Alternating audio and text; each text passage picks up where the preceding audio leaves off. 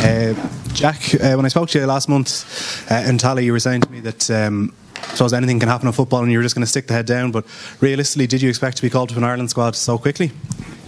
No, no. It's uh, it's been a mad couple of days and. Um, still trying to get my head around it, but um, you know, obviously delighted to be here. And, you know, delighted for Rovers to uh, to give me the chance to, you know, obviously to perform. And when you were coming into the League of Ireland, I mean, was that an expectation at all that eventually it might happen? You might get from Rovers to the Ireland squad. Was it anything that was in your mind at all coming to Ireland from there? No, we just we just wanted to, you know, obviously do well and you know get back on track and you know without without Rovers and without you know Stephen Bradley and you know Mike and the coaching staff there, I don't think it, it would have been possible for me to be here. So I'm just grateful. And in terms of picking up a bit of form, getting games, I know that's what you were talking about uh, last month. Uh, how have you felt you played? How do you think things have gone uh, with Rovers so far?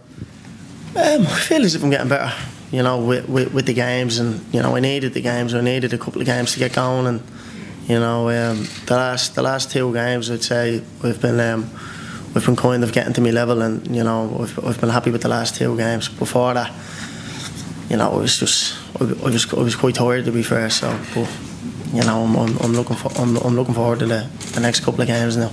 And obviously, you uh, got a lot of praise from Mick after the performance last Friday night. Did you know he was going to be there? No, we didn't know he was there at the game. Um, probably happy I didn't know. You know, at the time you'd probably start doing stuff that you know you you wouldn't normally do. Um, so that was a, it, was a surprise. It was a nice. It was obviously a surprise when I when I got called up. Like I never thought that you know I would have got called up after the game. So um, yeah, it's been it's been a mad couple of days. And just in terms of training, I know you've trained with the senior squad before, but in, in terms of the last few days, how have you found it? How have the lads been with you? Yeah, the tempo obviously is uh, is is obviously a lot higher, and you know everyone's trying to impress impress the manager and uh, getting his thoughts. Um, but the lads have been great. I obviously played with Seani, and you know I obviously know a couple of the other lads so yeah, it's been it's been a been a mad couple of days. Uh, Seani, in terms of goals, obviously there's uh, I suppose a lack of caps maybe in the strikers that are in the squad at the moment. So is this a chance for you to to step up and, and, and get in that team and, and, score a few goals the weekend? Yeah, I think it's a great opportunity for the you know the strikers in this camp. Um, as you said, there's not many caps between the, you know the four of us. Um, I think Eden is coming in now and he's probably the only striker that scored a goal. So the opportunity arises, um, I relish it, and you know it's obviously a great couple of games to come into. Um, by no means we, we should we should uh, underestimate you know Gibraltar. I think they won their first game last year in the last campa- campaign, so um, we'll be look, fully focused to you know start the campaign um, with three points. Uh, you started training on Monday. Was that just recovery? There's no issues with fitness ahead of the weekend. No, that's um, what I normally do with Preston, especially with three games last week. Um, had a couple of 90s, and um, I think that was my fourth, fourth or fifth 90 that I played this year. So um, maybe if I didn't have three games a week, maybe I could have done a small bit, but um, just want to follow, you know, Preston's uh, regime of, you know, doing recovery in the gym on Mondays, and then, you know, I trained yesterday and then expected to train today. So. Okay, thanks, lads. Jack, how, how, much was your cause helped by that fantastic goal on Friday night? I don't know. You'd have to ask. Uh, you'd have to ask the gaffer. Uh, didn't do no, you any harm.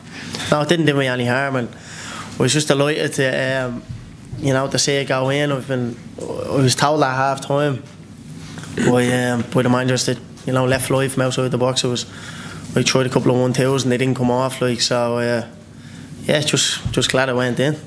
Do you feel in any way that the next few days and the last few days that you're not just representing yourself and Shamrock Rovers, but maybe the League of Ireland in general? But yeah, maybe I think it's good for uh, you know the, the younger the younger players in the league. I'm still only 22 as well, like you know, so um, I think it's good for you know, the likes of Trevor Clarke and you know Brandon, obviously at our club as well after getting called up to the 21s. You know, I think you know they can see that there's maybe a pathway there for, for international football as well, and, and, and a lot a lot a lot of the international teams are made up from uh, from League of Ireland players. So we think I think it can only be good for, for the league. Yeah. the start of a, a, new campaign obviously brings with it uh, optimism, I suppose, from a supporter's point of view, and, and imagine as well from a, from a player's point of view. Yeah, um, you know, we're looking forward to, to the games, and hopefully we can um, we can get a you know a, a decent result on, on Saturday, and uh, and and hopefully go into the home game with with a big backing, and um, there's nothing like the Irish support, so you know if we can get a good result away and you know, have a bit of a buzz going into Tuesday. I think uh, I think it can only go well. Um, Sean, you would have watched Sterling as a fan and watched Robbie Keane. I'm sure supported him when you were younger. What's it like now that you're watching or you're being coached by him now from the sidelines as part of mixed team, and the responsibility of qualifying is is on your shoulders as a player now? How does that feel? Yeah, it's. Um it's an amazing feeling. You know, it was my first time meeting Robbie coming in Sunday, um, and even chatting to him, he brings the awe about, awe about him, um, and you want to learn from him straight away. Even in the space of the last couple of days, him giving you tips here and there. Um, it's just great to see.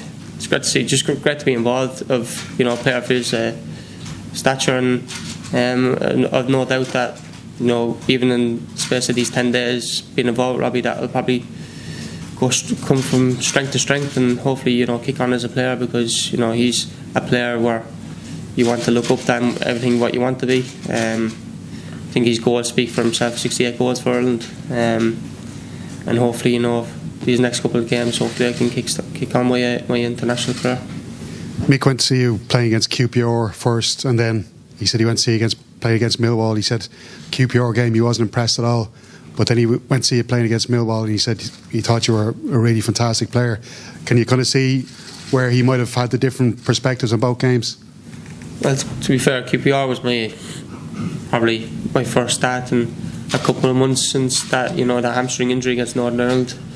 Um, I played off the left as well, so. Um, but like I played, I played off the left on numerous occasions this season. But to be fair, I was only getting back into the groove of things, and um, I probably probably say so myself that I didn't particularly have a good game, but yeah, against Millwall, I think probably see me at you know near my best. Um, we won three one. I scored a goal. Um, I think Millwall kind of you know fell into our our trap and you know we hit them on the counter attack and you know I really impressed that day. Um, I was really happy with myself and even since then now I felt that I've kicked on a little.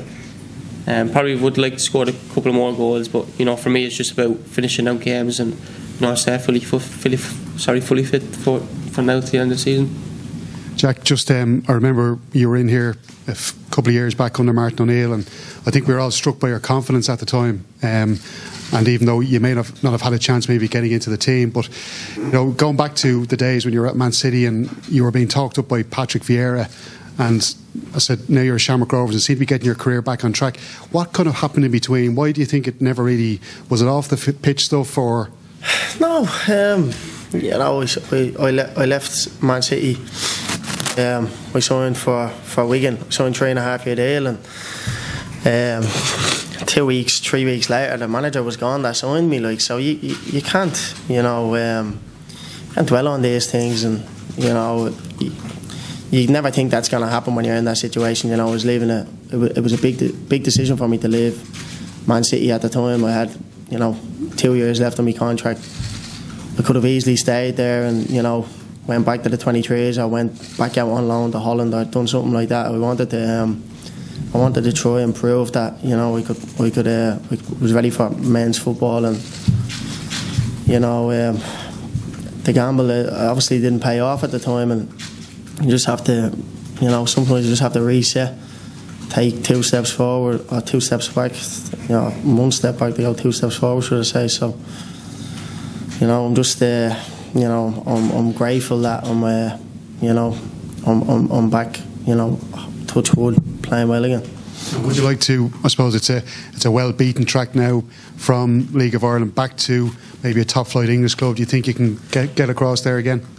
to be honest, I'm not even thinking about that. I'm just thinking about training now in a in, in a half an hour. So, you know, we obviously want to do well for uh, for Rovers, but you can't think like that. You just got to take it day by day, and, and whatever happens, happens.